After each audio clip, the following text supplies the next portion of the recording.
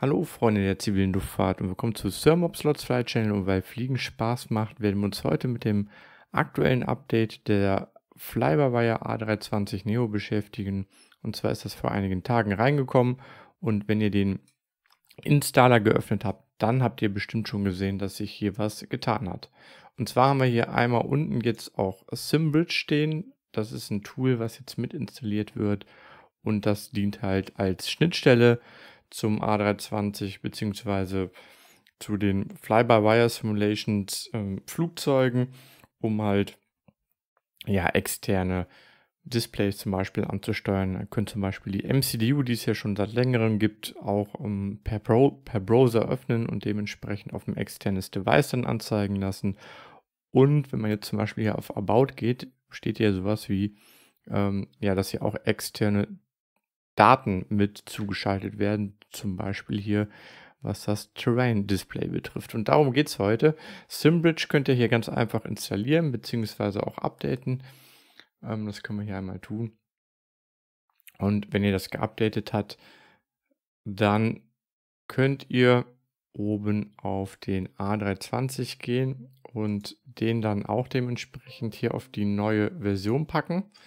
So, jetzt seht ihr schon hier Auto Start Configuration für SimRidge. Und zwar kann man sagen, hey, du bitte starte das Tool im Hintergrund automatisch, sobald der Flyby-Wire hier gestartet wird. Das schalten wir mal ein. Und dann könnt ihr unten noch auf Update gehen und dann wird hier dementsprechend auch der Fly-by-Wire geupdatet. Und bei den neuen Features solltet ihr dann auf jeden Fall die Experimental Version nutzen. Dort sind die dementsprechend drin. Und wenn der jetzt hier geupdatet hat, dann schauen wir uns das mal live im Simulator an. Und dann würde ich sagen, sehen wir uns gleich. Ja, wenn ihr im Cockpit seid, dann könnt ihr hier einmal nach links gehen und dann auf das Electronic Flightback und hier könnt ihr jetzt auf die ja, Ground Page gehen hier und Standardmäßig ist sie hier im Service und hier oben haben wir noch verschiedenste Reiter. Und zwar ist jetzt neu hinzugekommen der sogenannte Payload-Reiter. Und wenn wir hier einmal draufklicken, dann sehen wir hier eine Übersicht, die uns ein bisschen an den Phoenix erinnert, aber hier haben wir jetzt die einzelne Sitzplatzbelegung des Fliegers tatsächlich und auch die einzelnen Belegungen hier für Gepäck komplett, die wir besetzen können. Und wie das im Einzelnen aussieht, das zeige ich euch gleich. Hier seht ihr auch, was wie der Flieger gerade, ja, current, also jetzt gerade beladen ist hier und was dementsprechend geplant ist. Ihr könnt dann hier das Boarding auch starten. Ihr habt dann wieder die Loading Time hier auf Instant, Fast und Real. Und ja, da wir jetzt quasi schon fast vorbereitet auf der Bahn hier stehen, ähm, macht das automatisch hier auf Instant. Und ihr habt hier, äh, ja, ich sag mal, so eine Balance Scorecard hier, die anzeigt, wie das Gewicht halt verteilt ist. Und zwar haben wir hier verschiedenste Linien und die zeigen euch an, ob ihr halt in diesen Limits seid. Einmal hier die blaue Linie ist das Maximum Takeoff Weight, also das maximale Startgewicht hier. Da muss sich der Flieger dementsprechend drin befinden. Dieser, ja, hier dieser blaue Punkt muss sich darin befinden. Das wäre im Prinzip dann auch das ja, oder der Schwerpunkt bezogen auf, aufs Gesamtgewicht äh, oder auch das Crossweight Center of Gravity und hier der weiße Punkt, das ist äh, und die weißen Linien, das gehört hier zum Maximum Zero Fuel Weight und das muss dann halt auch innerhalb dieser weißen Linien bleiben. Hier dieser weiße Punkt. Hier sehen wir den nochmal dementsprechend angezeigt oder halt ja ausgerechnet, sage ich mal. Und Interessant ist tatsächlich, dass wir jetzt hier auch eine Berechnung kommen für das Cross Rate ähm, Center of Gravity, weil das brauchen wir später dann auch für die optimale Berechnung der Takeoff Performance Page, wie man die berechnet. Da habe ich ein dementsprechendes Tutorial zu gemacht, das verlinke ich euch gerne oben rechts. Und hier in grün haben wir noch das ähm, ja, Maximum Landing Weight. Ja. Und zwar müsst ihr bei einer Landung darauf achten, dass er auf jeden Fall hier unter diesem Wert seid. Also, dass dieser dementsprechend blaue Punkt hier unter dieser grünen Linie ist um dann eine sichere Landung durchzuführen. Ansonsten müsst ihr halt dementsprechend noch Sprit verbrennen, indem ihr halt Holding Patterns fliegt oder ja, eine Overweight Landing durchführen. Ähm, das wird dann relevant, wenn ihr zum Beispiel vom selben Flughafen starten und wieder landen wollt aufgrund einer Störung oder eines Problems, dann ist das definitiv ein Thema, das maximale Landegewicht, weil der Airbus A320 Neo halt auch keinen Sprit ablassen kann. Gut, dann zeige ich euch mal, wie das hier in der Praxis funktioniert. Ihr könnt wieder sehr bequem hier mit der Wolke und dem Pfeil nach unten alles, was ihr in SimBrief dementsprechend dann auch ja, geplant habt, hier raus importieren. Einmal draufklicken und dann seht ihr links hier, was geplant ist. Ich gebe jetzt mal hier ein paar Leute weniger ein, um euch mal zu zeigen, wie es hier aussieht dann. Ihr seht hier die, ähm, ja, der Flyby-Wire berechnet hier automatisch, wie die Plätze hier optimal verteilt werden, damit das Gewicht hier auch optimal verteilt ist. Wir können noch mal ein bisschen Cargo hier eingeben. Nochmal, nochmal eine Tonne Gepäck mit da rein. Ja, wenn wir das haben hier, dann könnt ihr dementsprechend hier einmal auf Begin Boarding gehen.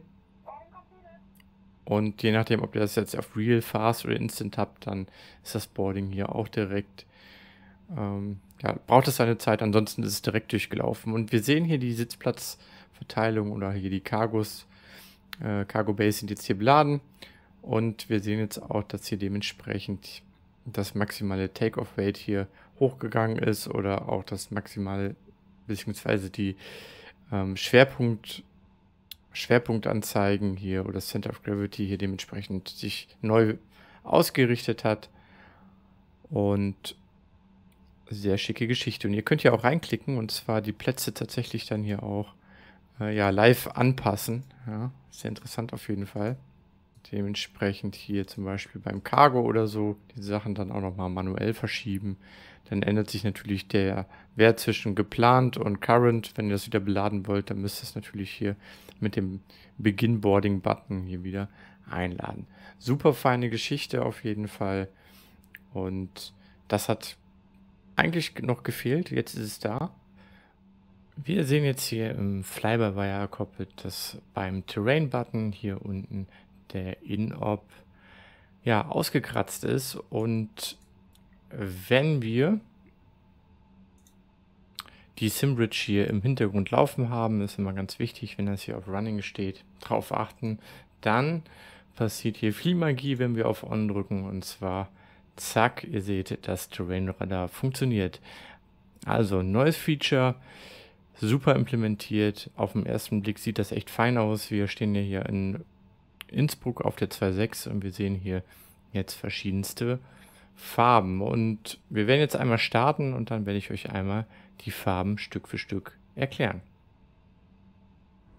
So, jetzt sind wir hier mal auf Lever Climb gegangen, haben den Autopilot mal angemacht und ich pausiere jetzt mal kurz hier. Und zwar seht ihr, hat sich das ähm, Terrain Radar schon dementsprechend hier aktualisiert. Und wir sehen jetzt eine Vielzahl von Farben. Und zwar sehen wir jetzt hier komplett schwarz hier das äh, ganze Tal. Und zwar bedeutet alles, was schwarz ist.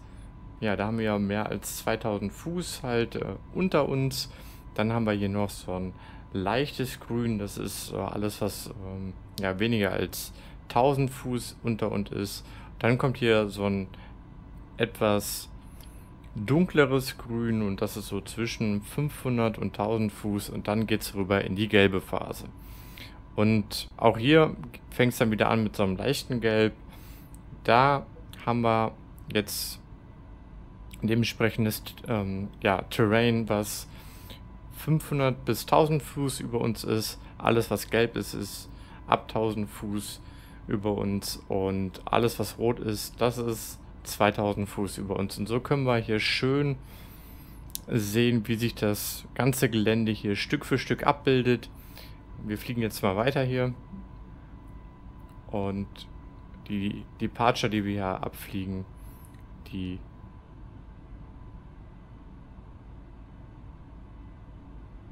sehen wir jetzt hier schön, wie die sich Stück für Stück herausbildet oder das ähm, Gelände sich hier Stück für Stück herausbildet und halt aktualisiert.